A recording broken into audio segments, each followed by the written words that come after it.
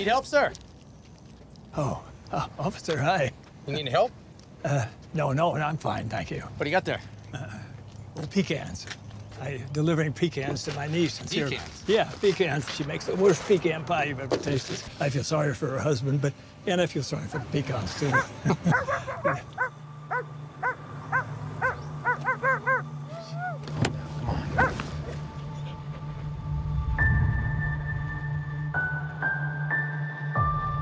Family's the most important thing.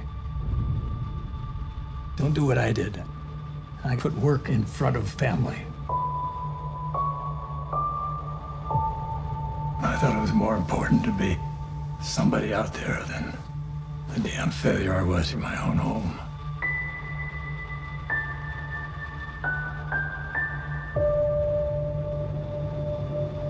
I was a terrible father. Terrible husband.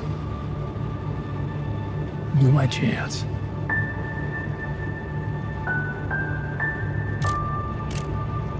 I didn't deserve forgiveness.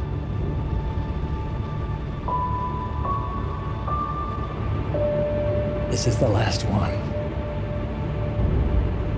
So help me God. This is the last one.